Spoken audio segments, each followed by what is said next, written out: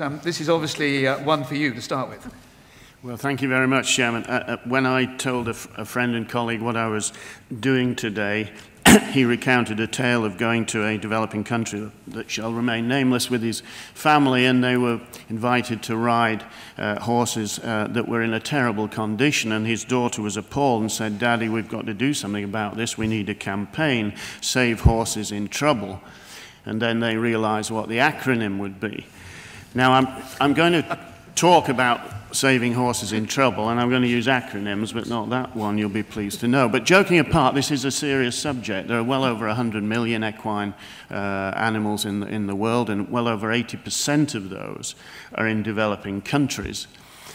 Um, I've worked a lot in Africa. What is interesting actually about much of Africa is that much of the areas of Africa are denied to horses by disease, sort of disease exclusion in, in the, in the sub-Sahel. But nearer in the northern, um, immediately sub-Sahel, in, in northern Nigeria, Cameroon, through to, to Sudan, Ethiopia, and in North Africa, in the Middle East, and of course in Central and South America, working equines are hugely important.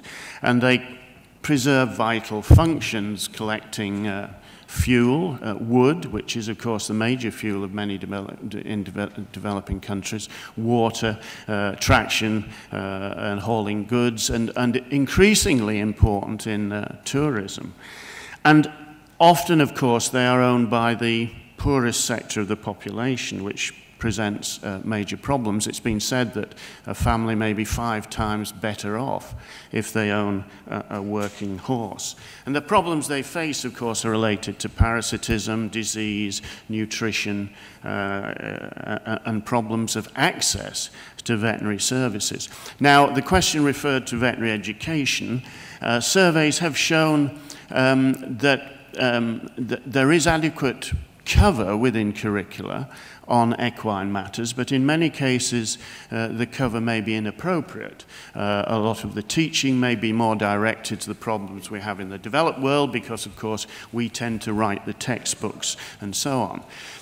It is a fallacy to think there aren't enough vets in the developed world. There are, are, are, a lot of veterinary schools. I mean, there are well over 40 in Brazil, well over 40 in Mexico. The oldest veterinary school in the New World is actually in Mexico City. So there, there, are vets and there are vets uh, being produced, but it's important that we make their education appropriate.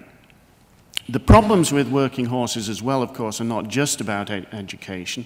It's a problem that is common to um, human uh, medicine uh, in the developing world, and that is a problem of delivery, delivery of health care to, to rural communities in remote areas with, with poor infrastructure.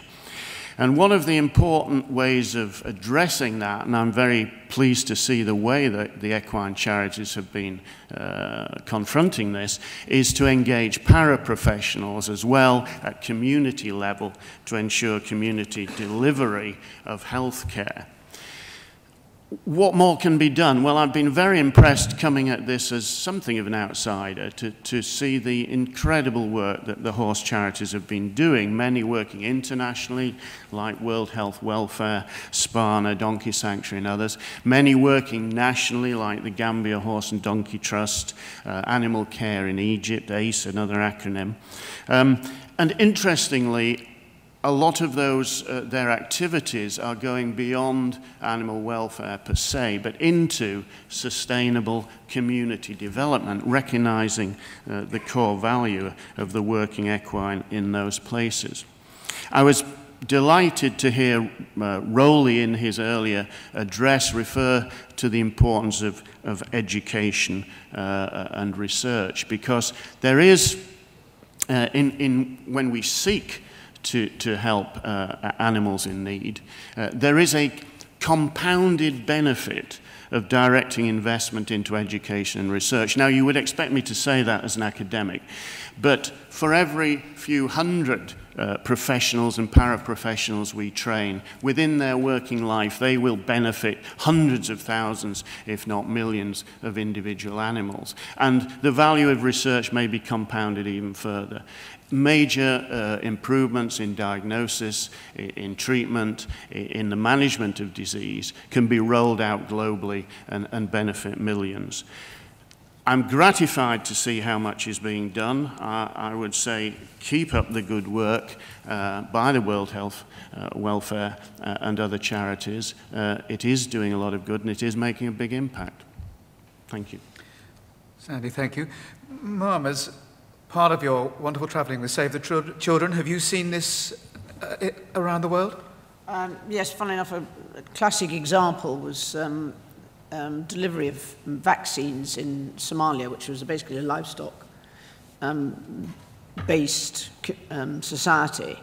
And the only way we could get the vaccines to the mothers and the children was to get, to get the vet to take them because um, the families, the fathers, would use the uh, family to move the stock, but he wouldn't let them go separately to the clinic.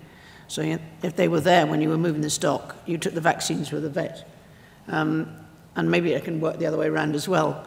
Uh, it, it is, I think, the, one of the challenges for all the agencies in, the, in, in medical delivery, so to speak, is having the, the levels, appropriate levels within the community that are not uh, fully trained, either doctors or vets, but as you say, are trained at levels where they can, like farriers at the, at the lowest, at the village level, that then can refer up the line that are relatively simple and can build in a continuing program of education based on that initial training.